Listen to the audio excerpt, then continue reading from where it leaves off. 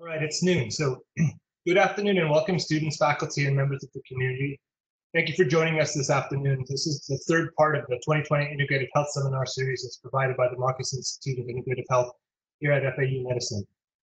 My name is Anton Borja and I'm the director of the newly established Marcus Institute of Integrative Health at FAU Medicine and I'm excited to be one of your speakers today, together with Dr. Joanna Drowos.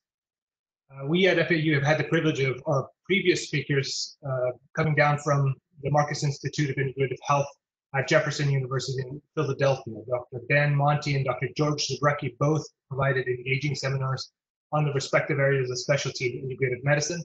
And what we hope to accomplish today is to look at the broader practice and philosophy of integrative medicine and how this can be used to provide a more proactive, prevention-focused, and whole person approach to healthcare.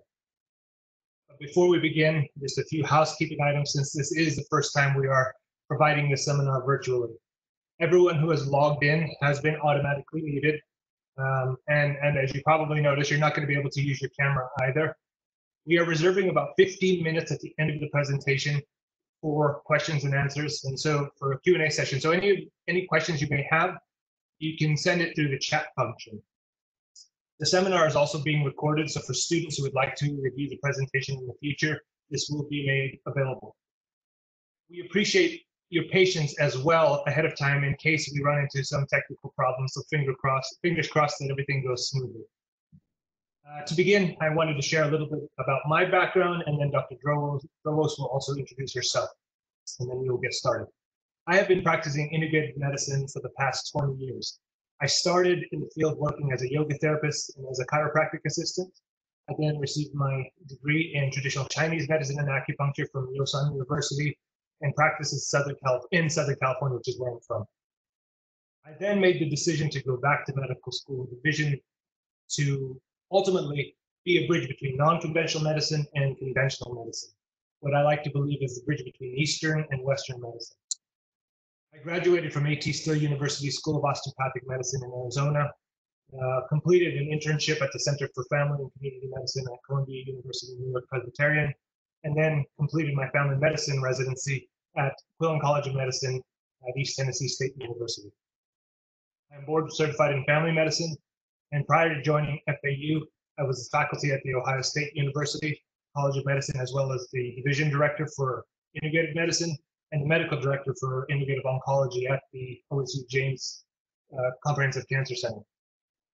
My clinical practice incorporates the tools and training that I received. So I use acupuncture, osteopathic manipulation, botanical medicine, nutrition, mind body practices regularly with my patients. And my main areas of focus include integrative medicine consultations for all ages, integrative oncology, and non pharmaceutical treatments for pain. So my co presenter, Joanna, Dr. Joanna Drolos, will now introduce herself.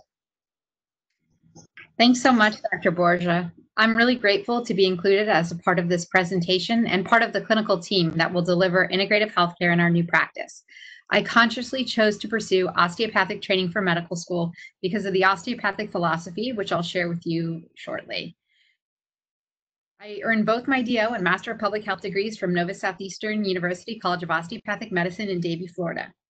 I spent an additional year in medical school completing an undergraduate teaching, research, and clinical fellowship in osteopathic principles and practice. I completed a traditional osteopathic rotating internship with a track in pediatrics at Palms West Hospital before completing residencies in preventive medicine at the Palm Beach County Health Department and family medicine at Broward Health. I hold cert board certifications from the American Board of Family Medicine, the American Osteopathic Board of Family Practice, and the American Osteopathic Board of Occupational and Preventive Medicine. I earned a Master of Business Administration in Healthcare Administration from Florida Atlantic University. Prior to joining the College of Medicine, I was the medical director for the Palm Beach County Health Department's Communicable Disease Clinic, as well as the program director for its preventive medicine residency program. At FAU, I divide my time between being the director of the Community and Preventive Medicine Clerkship, as well as Associate Dean for Faculty Affairs.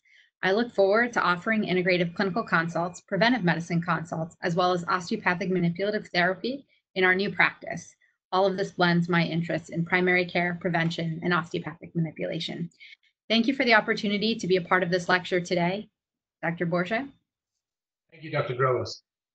All right, without further delay, uh, we present to you integrative medicine, a new paradigm in patient care. So prior to starting, I just want to highlight that neither Dr. Dros or nor myself have any financial interest or arrangements which could be see, seen as a as a real or apparent conflict of interest in, in the subject of this presentation, except maybe the fact that we both really appreciate integrative health and, and the things that it can offer to our patients. So the course objectives for this presentation today are as listed. Uh, first of all, I want to differentiate alternative, complementary, and integrative medicine. This is a common confusion among patients and, and clinicians, so it's important to start there.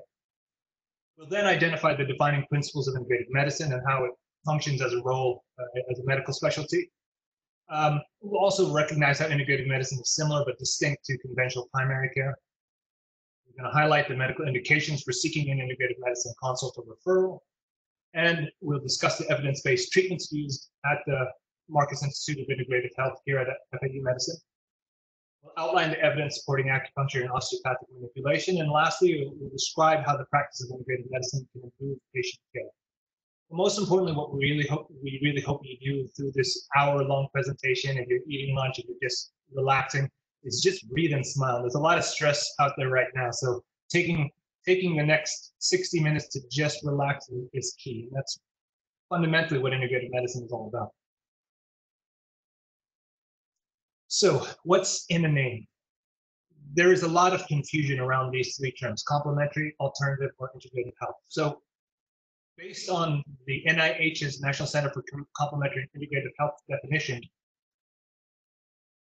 what is a non so a non-mainstream practice that is used together with conventional medicine? Conventional medicine is everything that you are learning as students and everything to all the physicians out there uh, most of pretty much what you're practicing.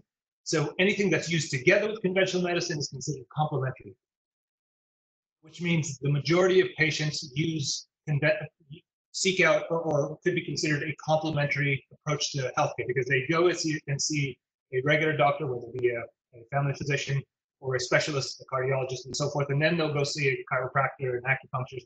A lot of times there may not be discussion about what they're doing at, at, at the other place, but but at least they're seeing both. If a non-mainstream practice is used in place of conventional medicine, it's considered considered alternative, and this is a very rare practice. I think they've they've estimated it that maybe one percent of the U.S. population truly practices alternative healthcare, meaning they completely bypass conventional care. It may be seeing an MD or DO who is a physician but does not use conventional medicine anymore. Um, but that is still a rare practice. So integrative health instead so what I've underlined here really emphasizes it. It's a holistic, patient-focused approach to healthcare and wellness, often including mental, emotional, functional, spiritual, social, and community aspects, and treating the whole person. Fundamentally, we look at the whole person. We look at everything that makes up their health. It can also lead to disease, nutrition, um, exercise, stress. All of those factors can bring about either health or can bring about disease. Now, the, the very top of this paragraph highlights that we also bring conventional and complementary approaches together in a coordinated way. What tends to stick out about integrative health are the, the tools that we use, the non-conventional tools. What we try to do is make sure that they're evidence-based. Now, there are specifically defining principles of integrative medicine that I'd like to highlight. First of all, patients and practitioners are, are partners in the healing process. Now, one of the things I'd like to share with my medical students is this fundamentally anything that we provide our patients, whether it be a pharmaceutical drug, whether it be acupuncture, um, a supplement, anything that we provide to them, while all of us all of us are, are doing it with the with the hope that we're going to make our patients' lives better, anything they take can potentially help them or harm them. Um, ultimately, what a side effect is, is, is something that these medications can regularly uh, um, do to patients. And so it's important to be a partner in this because the patient ultimately has to deal with the consequences of the treatment that we provide. So all factors that influence health, wellness, and disease are taken into consideration. Socioeconomic factors are essential in, in health and disease. Nutrition is essential in health and disease. Exercise and stress level is essential. I recently read a report uh, or saw a report that the that mental health issues are going to skyrocket just as a result of COVID-19.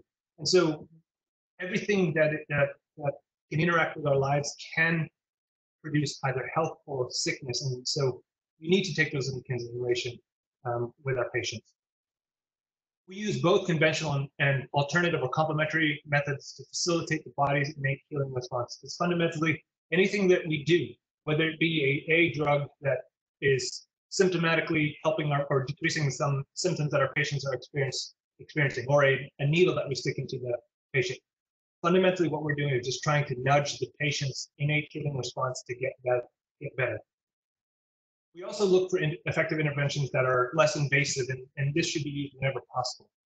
A an easy example to think of today is in the with the opioid epidemic. Someone comes in with acute back with acute back pain. We should now know that starting them on a narcotic is a bad idea, but starting them on acupuncture, which has been shown in the evidence to be very effective for acute back pain, is a good idea because it has a low risk has low risk of side effects and fundamentally is less invasive in the long long in the long run. We don't reject conventional medicine, nor do we accept alternative therapies uncritically. We really do believe that good medicine should be based on good science. We, of course, emphasize the broader concept of health promotion and the prevention of illness. And as practitioners, we really do try to practice the principles um, of self-exploration and self-development. As Hippocrates said, physician first heal thyself. And integrated medicine really tries to promote that concept. So Andrew Weil, MD, many consider him the father of integrative medicine simply because for many of us who practice integrative medicine, he was one of the first inspirations towards this type of medicine. He is currently the director of the Andrew Weil Center for Integrative Medicine. He is a best-selling author, and so before becoming a, as a medical student, even before medical medical before even medical school, I read a lot of his books, and many doctors who practice integrative medicine really got their first taste of it through his books. He also developed the first academic curriculum in integrative medicine at the University of Arizona, and so many physicians today who practice integrative medicine also trained underneath him. Integrative medicine is not fringe medicine. In fact, as, as this short list highlights, um, there are over 70 academic medical centers and affiliate institutions that are part of the Academic Consortium for Integrative Medicine and Health, with the simple mission of advancing the principles and practices of integrative healthcare within academic institutions. At FAU, we hope to join the consortium sometime in the near future.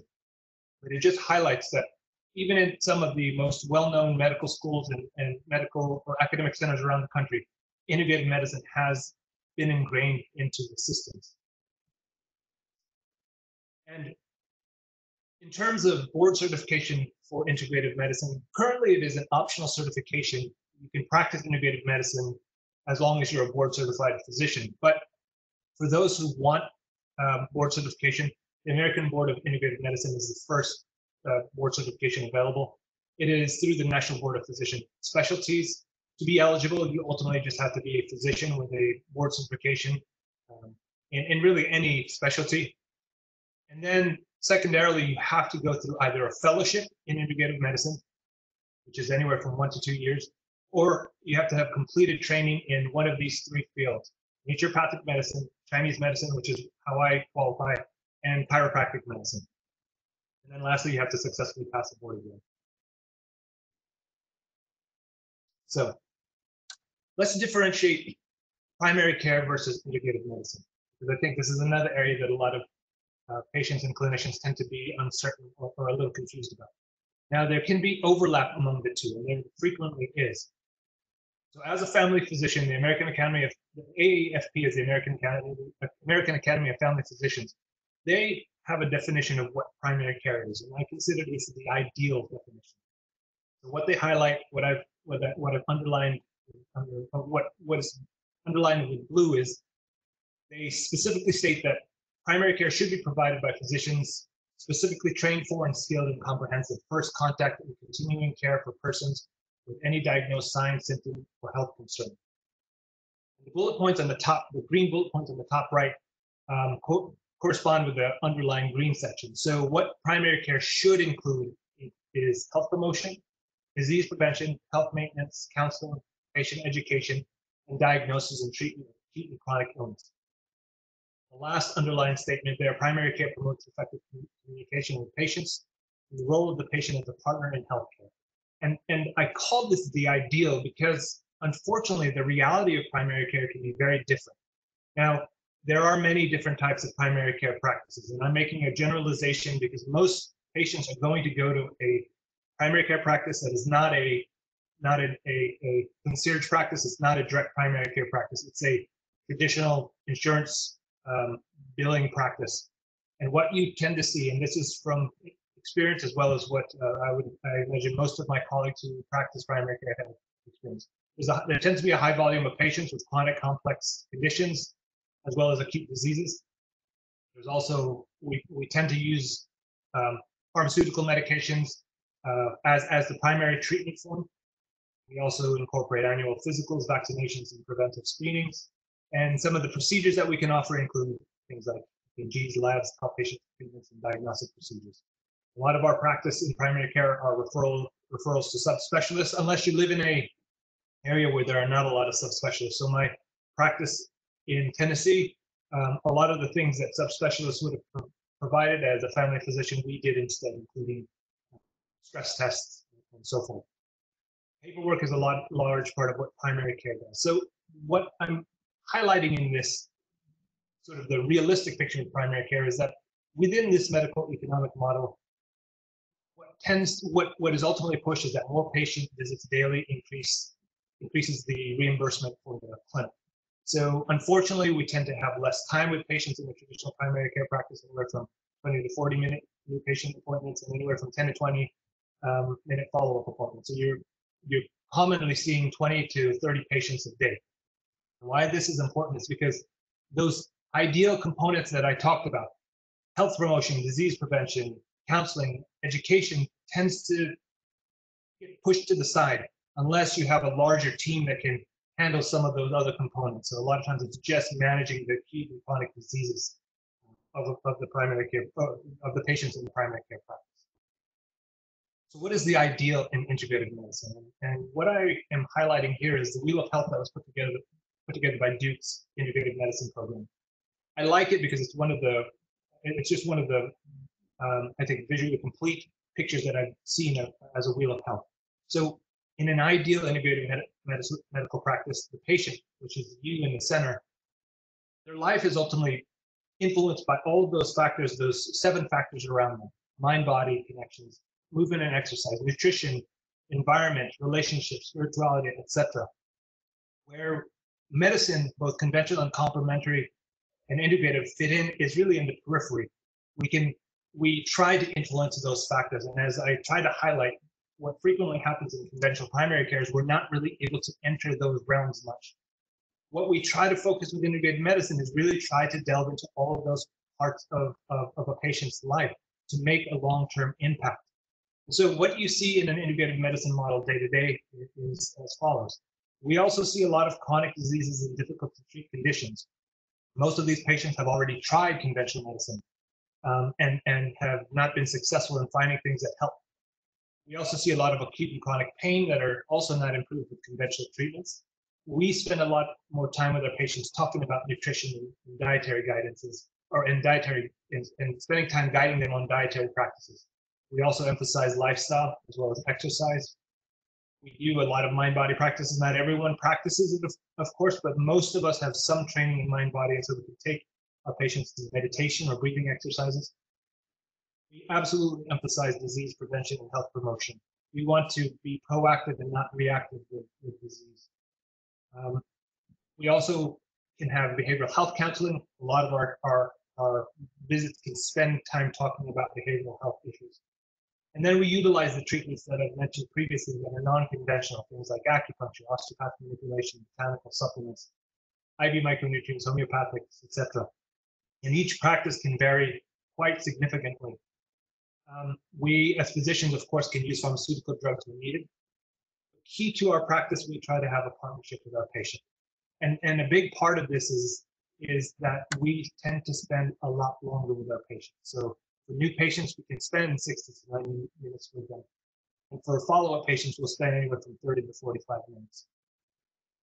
This has a whole other conversation in terms of uh, medical financial components of, of the longer visit that I'm not going to highlight today, but for the students in the audience, it's something that we will talk about in the future because it's it's it's an important component to take into consideration with integrative medicine.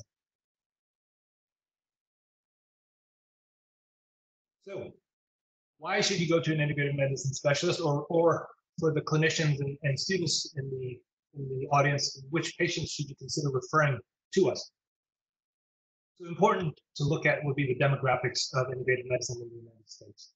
Um, since 2002, so annually, the National Health Interview Survey conducts a, a, a survey of, of, of, all Americans uh, uh, trying to, which is ultimately provides the major source of information for the general health of Americans. And since 2002, every five years, that has been, there has been information and data collected uh, specifically about complementary and integrative health practices. The most recent um, survey was done for integrative and complementary health was done in 2017. So what they have found in these surveys and, and, what tends to show consistently is that about a third of all US adults and about 12% of US children use integrative and complementary health approaches. The number, the financial number is about $34 billion spent out of pocket annually on consumers for innovative and, and complementary health therapies. This this specific number, 34 billion, is a bit old. Uh, the last time the, this, the, number was collected was in 2007. Um, most recently, um, they're showing that out-of-pocket spending of, of, of, everything, including conventional medicine, is closer to about 60 to 70 billion dollars. And we expect that the number spent on integrative health has also increased. There's just no no recent data to tell us exactly about how much. Americans will usually spend their money um, on these types of integrative health practices. Non-vitamin, non-mineral, and dietary supplements tend to state uh, tend to take the biggest chunk of of, of uh, um, or is the biggest area of usage for for adults for U.S. adults, uh, followed by chiropractic, yoga, massage, meditation, and special diets. Specific types of, of conditions that they seek integrative medicine for include most commonly pain conditions. So as you can see by this list, back pain, neck pain, joint pain, and arthritis are the top four. But as you can also see from this list, list some other non-pain conditions are, are frequently sought out, or, or integrative medicine is frequently sought out for care, including anxiety, um, heart disease and cholesterol, as well as insomnia. For children, it's very similar. Backward neck pain and other muscular uh, types of pain tend to be the main reasons the, integrative medicine is sought out. Um, but then it's also followed by other things, including head or chest colds, anxiety and stress, ADHD, and insomnia, which, which I think most people who think of integrative medicine don't think of, that, of, of those areas as being a common diagnosis to seek out integrative health, but it is a very common reason parents will seek out um, advice from an integrative physician. So in 2017, uh, NHIS specifically did what, what they called a practice-specific survey. They looked at three areas of integrative health, including yoga, meditation, and chiropractic, and compared it with previous, previous data. What they found is that the use of yoga among US adults 18 and over increased by about 5% from 2012 to 2017. The use of meditation in US adults increased even higher, about 10% from 4 to 14%. Now, the use of chiropractic did not increase by much, by about 1%. Um, and, and this is the, the average across the country because some because the use of chiropractic and manual therapies is also very regional. The West Coast tends to tends to use these types of treatments much more frequently than the East Coast. Um, the Midwest and the South are a little bit higher than the East Coast. So this is an average, about 10% of the, of the U.S adult population will use chiropractic or osteopathic manipulation.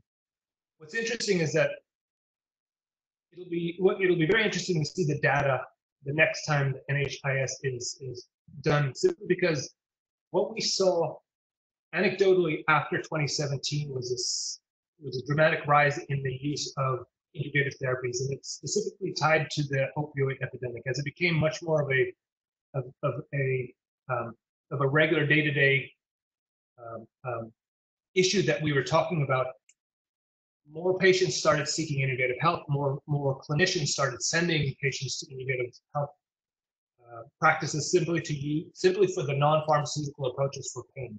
And so I believe that this number will, will significantly increase at the next time uh, in in 2022 when they check this again.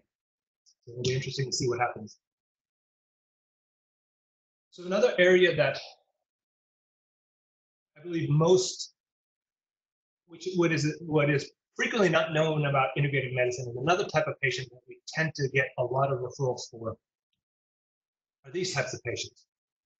Patients with difficult to treat conditions with negative medical workup who have tried conventional treatments with no success. The story is similar. I will have a patient who will come and see me who's been referred by by a doctor colleague, and a lot of times the colleague will say, "Yeah, you know, I don't exactly know what Dr. Borja does, but the patients I send to him tend to do better, especially the patients who who are who have these chronic um, complex medical conditions who have not improved with conventional treatments." What I like to think, what I like to say, and I, I think a big part of why integrative health can be successful in this is simply that as integrative practitioners, we look at the, the we tend to follow a non-reductionist view of, of health. While in medical school, we tend to train in a reductionist view. We look at the system, we look at the organ, we look at the cell, and we want to find that one thing that is, aha, this is the reason why you're having those symptoms. This is the reason why you're, you're sick. In general, for chronic complex issues, a reductionist approach does not work. So what we like to say in integrative medicine is we look at the whole course, not just the tree. So when we spend time with our patient, um, we can dive into a lot more of the components that make up their overall health. We can ask them about that. We can ask them about stress. We can talk about socioeconomics. And a lot of times we'll start finding a clear picture. It's not that one piece of the puzzle that fits everything. It's all of these pieces that eventually just have to be put together. And that is what I think one of the strongest components of integrative health can, can provide to our patients is this non-reductionist approach to health. So what are we going to offer here at the Marcus Institute of Integrative Health at FAU? First of all, this is we are going to be the second. We are officially the second Marcus Institute of Integrative Health. Um, the first one is at Jefferson Health in Philadelphia, as I mentioned earlier. And so three main areas of focus that, that our practice, that integrative, that the Marcus Institute at FAU will focus on are going to be these areas, clinical care, education, and research. Now, while this presentation is not going to focus on the education and research, and instead will focus on the clinical care, I do want to highlight some of the things that we are currently uh, uh, doing for these areas. So as, as far as education, this seminar series that you're currently watching is part of the Marcus Institute's um, um, long-term goals to help educate the, the, the public and, and the medical school and the medical students about integrative health. Um, we will also be incorporating some levels of, of, of, curriculum about around integrative health into the College of Medicine, um, into the curriculum. We will also, for the community, be offering health fairs and we'll be really trying to find a core group of medical student ambassadors who have an interest and, and hopefully a passion about integrative health to help get the word get, and, and help educate um, patients in the community about what we can offer with integrative health. As far as research, we our goal is to expand integrative health focused research at FAU and and or, or in collaboration with the Marcus Institute at Jefferson and eventually with other collaborators around the country. As far as clinical care, these four areas are where we will be focused on here in Boca Raton. We will be offering community integrative medicine care. And so what this specifically means is that we'll, we'll be offering consultations, non-pharmaceutical treatments for all patients, really from cradle to grave, from, from children to, to older adults. A, a problem in this country also is access to medical care and, and, and particular integrative medicine, which is traditionally a type of medicine that is for all people, no matter the no matter the, uh, the socioeconomic status. So an area that we want to also focus on is integrative medicine for underserved communities, working with some of our community partners to try to offer the offer whatever treatments, whatever whatever um, um, education we can on improving overall health with through the use of integrative medicine and integrative healthcare. Given my background also in integrative oncology, we'll be focusing, of course, on, on consultations and treatments for patients diagnosed with cancer. So as I highlighted earlier uh, from the NHIS, we find that about a third of all US adults use integrative medicine or some form of integrative health. We find that once diagnosed with cancer, that number jumps higher and from anywhere from 50 to 70% of, of adults diagnosed with cancer would use some form of integrative medicine. So having a um, a physician or a clinician who specializes in this and can help guide them to the appropriate treatments is, key. And this is an area that we will focus on. We're also going to continue the Wellness Hub, which are which includes classes, events um, around integrative health, mindfulness, self-care, and fitness for the patients and community. Uh, this has been ongoing for the past year, but we're and we're going to continue to take it, continue to use the Wellness Hub, but expand it really for the use with our patients as well as the community. And then in the future, as we are currently in the process of building up our institute, we will include a learning kitchen and, and the goal of the learning kitchen is to offer culinary medicine for the students, a way for them to, a way for students to really dive into nutrition as a, as a key part of, of health and, and medicine and offer community nutrition classes for our patients and, and for anyone who's interested in really trying to improve what they, how they, what they, what they cook. Ultimately, there's an old saying in Chinese medicine that the real doctor is the chef at home or the cook at home because disease and disease or health really starts with the food that is being offered at home. So we want to be able to really teach our patients in the community how to do, how to take that tool and, and, and, and bring about healing. Specific clinical services that we will offer at the clinic also include the following. Um, Dr. Drowos and myself will be doing integrative medicine, integrative medicine consultations. Uh, during the COVID-19, during this time of social distancing, we will be using virtual health visits uh, as, a, as an option, and very likely we will continue those virtual, virtual health visits in the future. Integrative oncology, as I mentioned. Uh, I will be offering acupuncture and Chinese medicine, and we hope to bring in some more practitioners of, of, of both in the future. We'll be offering this both as for individual patients as well as community acupuncture for patients who might not be able to afford or don't have insurance coverage of, of acupuncture. As both DOs, we will also be offering osteopathic medicine or OMT. We will discuss nutrition and dietary guidance, focusing on mind-body therapies, um, discussing healthy lifestyle, lifestyle counseling, and of course using many different tools for non-pharmaceutical pain management, including body mechanics and therapeutic activities. We will also eventually offer botanical, natural, and dietary supplements. And in the future, once the clinic is, is completely built up, we hope to offer IV micronutrient therapy, medical massage, functional medicine, and more. We are sharing, currently sharing the FAU faculty practice here uh, at the uh, Galen Medical Building on the fourth floor our practice that is being built out is half of that fourth floor. Half of it is currently the primary care practice, and we're taking a small section of that um, to use, which is, which this room is, is a part of where I'm at now. Um, and in the future, we it'll be easy for patients to be able to both utilize the primary care practice, which will also have other specialties in the future, and then come over to the Integrative Institute, to take advantage of all of the things that we have to offer. This is our team for now. Dr. Drowos and myself who are here today, and Ashley Phillips, who's our integrative health coordinator. Ashley and I were actually actually worked together at Ohio State University. So she has a long history and experience with integrative health. So we hope to really be able to grow this practice into the future. So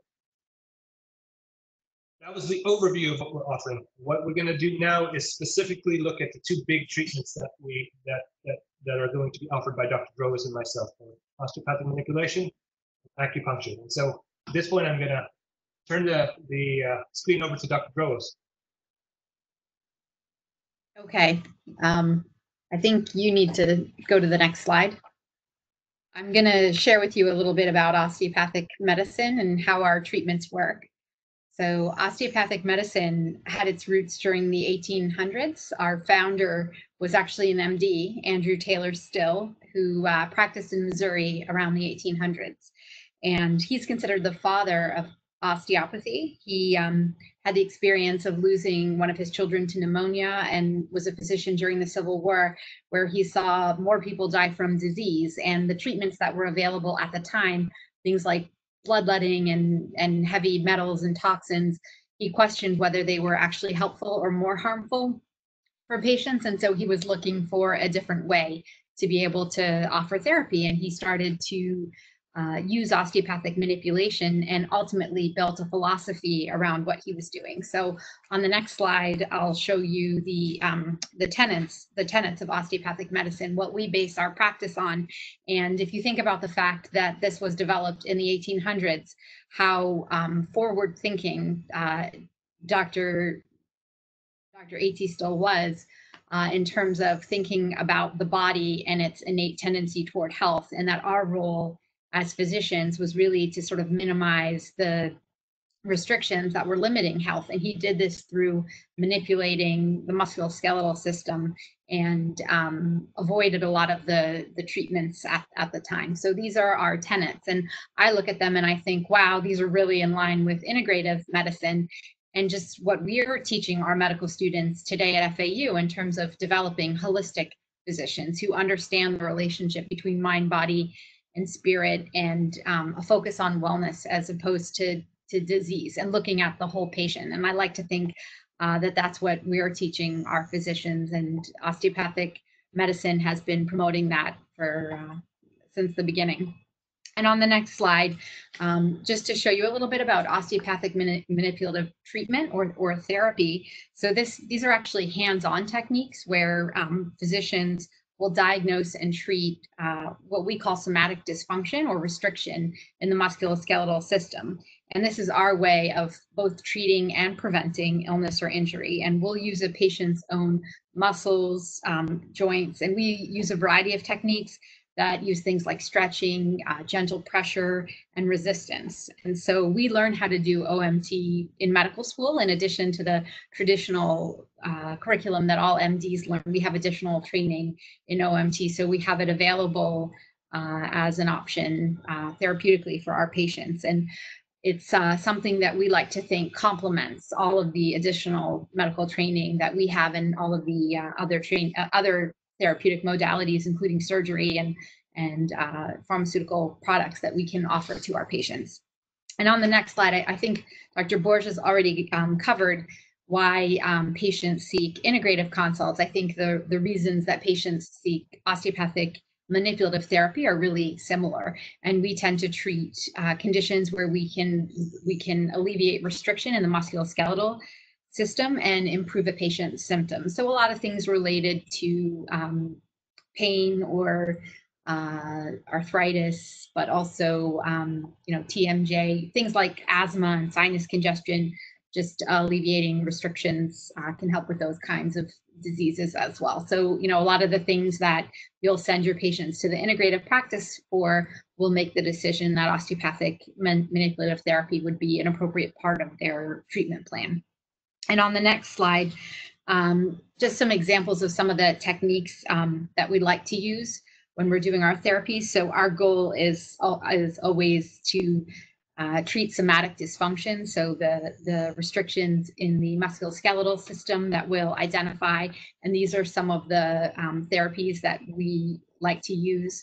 Um, the high velocity, low amplitude or HVLA is probably similar to what a lot of people think about with chiropractors, you know, the kind of cracking of, of backs and, and necks. Um, but we use a lot of other treatments, including treating the lymphatic system, which um, is getting a lot of attention right now uh, with COVID, but also all the soft tissues um, through treating um, counter strain points, also um, viscerosomatic points um, for certain diseases and myofascial release um, still technique. Uh, a lot of these techniques we'll use, you know, both indirectly and directly. We think about what our patients can tolerate, what's going to make them feel comfortable, and you know what's indicated in the picture of their sort of overall health when we choose um, a treatment for them.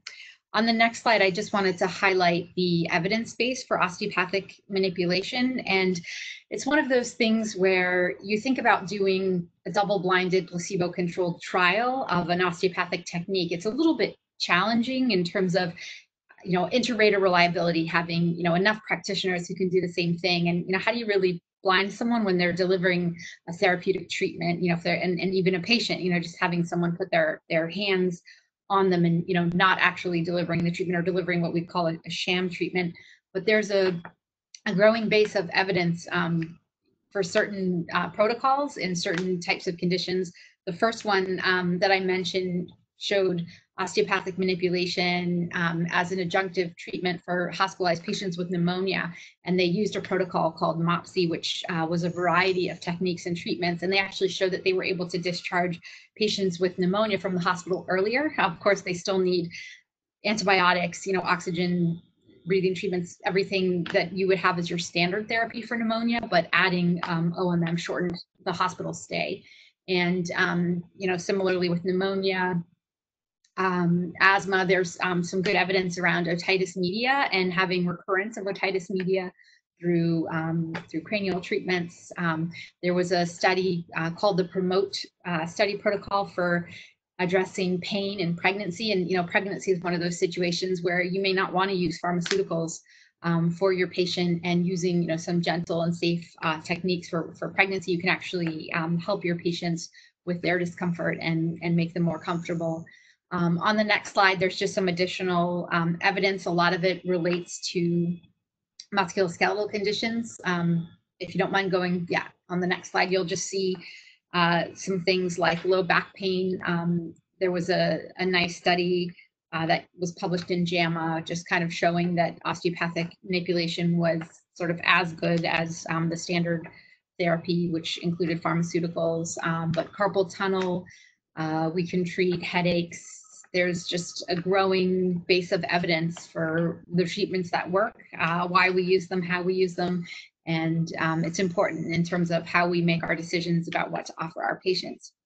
And then on the last slide, I just wanted to highlight um, some next steps because I know that uh, many of the folks that are listening to this talk are uh, trained in allopathic medicine or MDs. And what's actually happened is now there's opportunities for MDs to learn osteopathic manipulation in the same way uh, that I was taught it. There's all kinds of courses available, um, series, online modules. Um, I personally find some great YouTube videos um, for particular techniques. Uh, if there's something like if I'm dealing with a patient with shoulder pain, I'll look for you know a video of the Spencer techniques on how to treat the shoulder. And you know YouTube has great uh, training on some of these techniques as well. But um, just to highlight that these courses are available that this is something that um, you know now all physicians can pursue and learn and um, make available to their patients. So with that we'll um, this is just an example of a course. Um, if there's live courses in September that uh, will be offered in Ohio, they uh, osteopathic medicine for all through the Heritage College of Osteopathic Medicine um, in Ohio. So this and others for folks to you know go and practice hands-on and um, learn these techniques to feel comfortable to be able to offer them to your patients in the future. So thank you. Thank you, Dr. Drowos.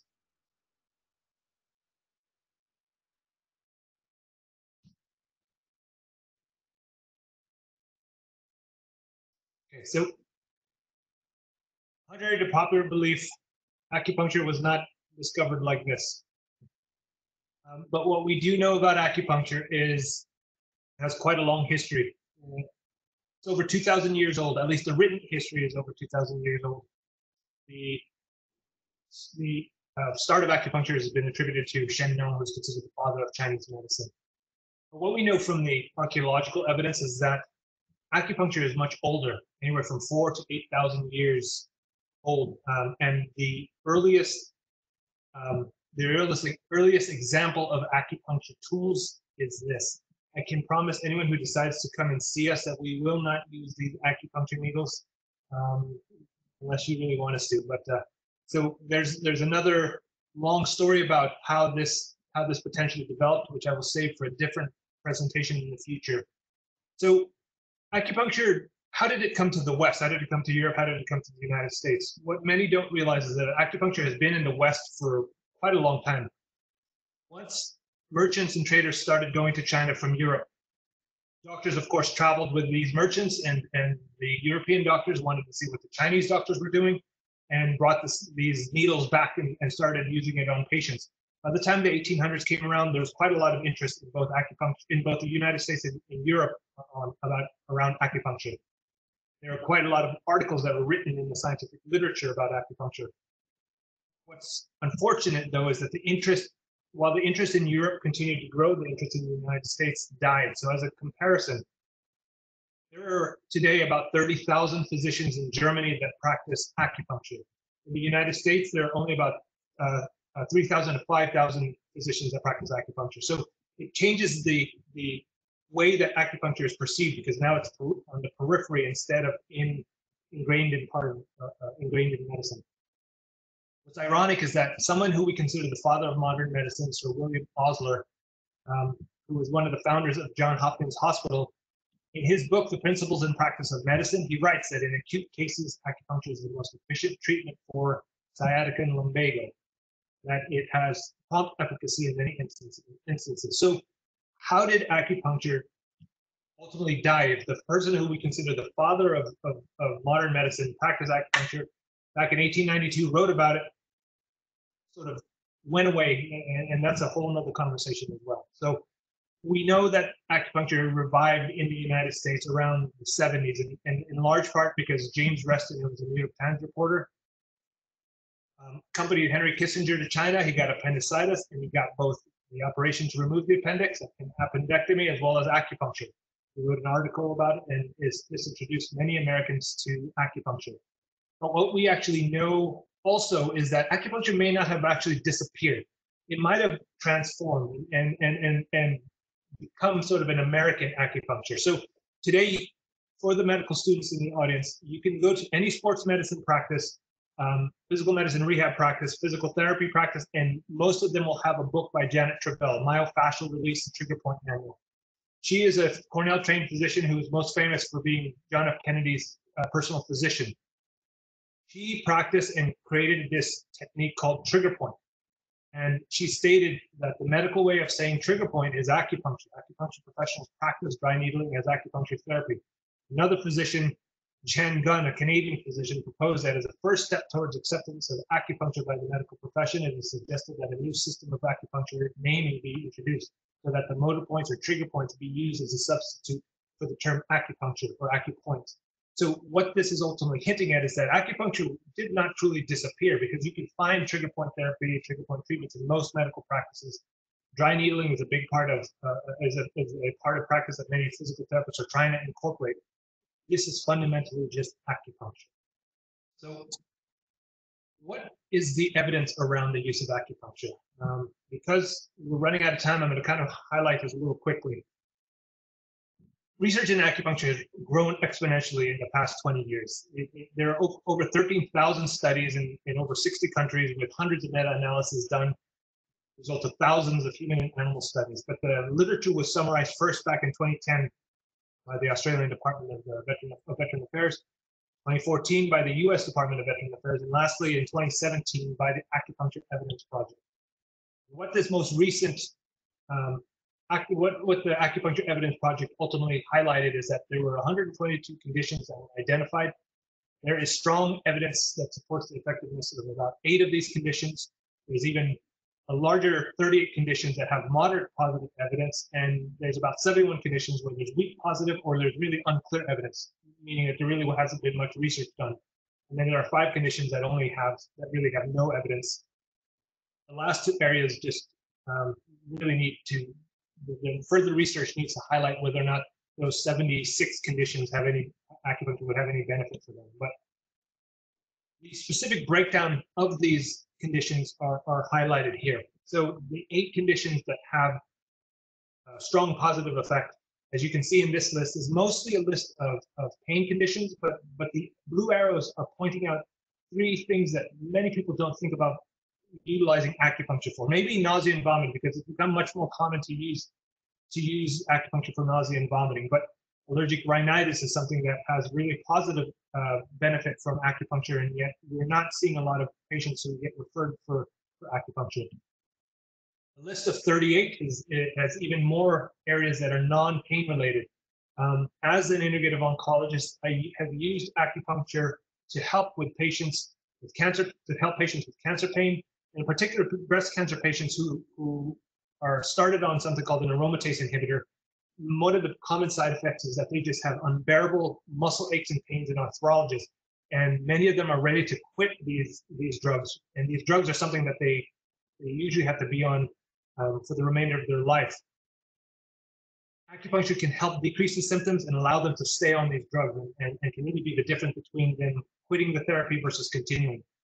A little paw print that I've highlighted on, on a couple of things, acute stroke and post-stroke spasticity, just highlights the fact that veterinary acupuncture is a real thing, and it's actually quite a big thing.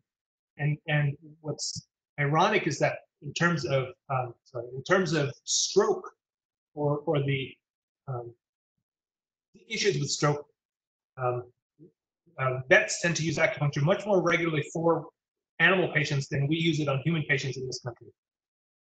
Another continuation of the 38 list of, of moderate positive evidence and the last of the of the 38.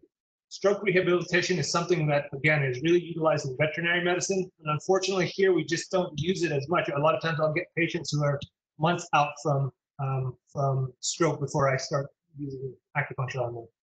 This is a horse that's getting acupuncture. Why is this important? Why are these last two areas important? Why are we talking about osteopathic manipulation? Why are we talking about acupuncture as we close here and provide some time for questions? It's because that adding another tool to your medical bag for the students out there can be the difference, can really be, it can provide a, a, a, a huge benefit for society as a whole. This study that came out last year showed that family physicians trained in acupuncture prescribed fewer strong opioids and those who had advanced acupuncture training prescribed far fewer opioids overall. And, and, and what that does is it ultimately helps decrease the likelihood that a patient is going to start on an opioid medicine and, and helps decrease the, the issue with the opioid epidemic. So while I was at Ohio State University, many many students reached out to me about getting trained in ear acupuncture or, or, or starting to incorporate some um, some innovative treatments in their practice. And so I'm throwing this to the students in the audience. Um, it's easy enough to set up something to get trained in ear acupuncture. And what we did at OSU is we used that training and brought it to the Columbus Free Clinic so that the students started creating a, a, an ear acupuncture clinic, which became very popular. We did it once a month and then quickly moved to twice a month. We were on the verge of doing it three times a month before I moved down to Boca Raton. So, final thoughts. Innovative medicine is a paradigm which enhances current medical practice. It improves patient care by allowing for patient clinical partnership.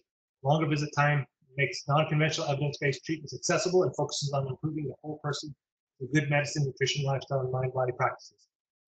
OMT and acupuncture are effective evidence-based treatments for pain and other medical conditions and should be considered an option for referral and consultation. And for those medical students and physicians out there, those who learn integrative medicine can offer a valuable set of tools which can improve the lives of our patients. This is a list of our references for those who want it. We can send it to you later. And I'd like to open up the floor now for questions. Thank you very much for, for taking the time to listen to our presentation. Any questions out there? Let's see the chat.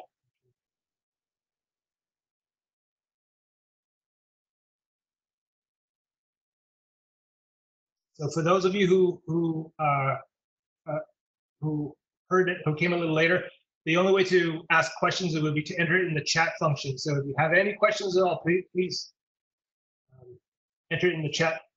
We'll spend some time. And if if if you don't have a question now, if you have a question later, you can always uh, shoot me an email. Um, for the students in in and those in the audience, um, this little QR code can help you uh, can help us um, will provide a, a uh, evaluation for us so that we could. Uh, so the first question from Christine Adams to all panelists. Um, traditionally speaking, not much research funding has been allocated for complementary medicine. Is that expanding greatly? In fact, it has. Um, not complementary medicine uh, per se, more so integrative health, uh, as, as I try to highlight. Um, when the National Institute of Health um, first created the National Center for Alternative Medicine back in the um, in the 90s, which has now been trans has, has been uh, modified to the National Center for Complementary and Integrative Health.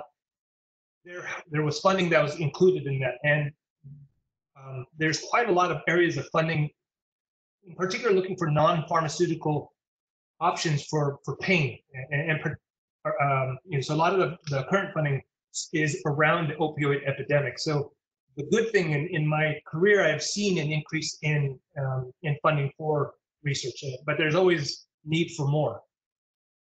I hope that answers that, your question, Christine. Other questions?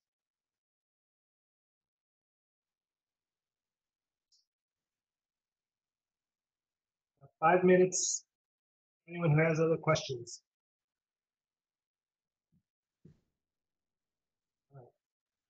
Well, if not, please feel free to email me here. Um, I'll, I'll leave this uh, up a little bit for anyone to, uh, my email is nborja@health.fau.edu. Thank you very much for taking the time uh, for joining us today. Um, have a have a wonderful rest of your afternoon. We'll see you at the next seminar sometime in the fall.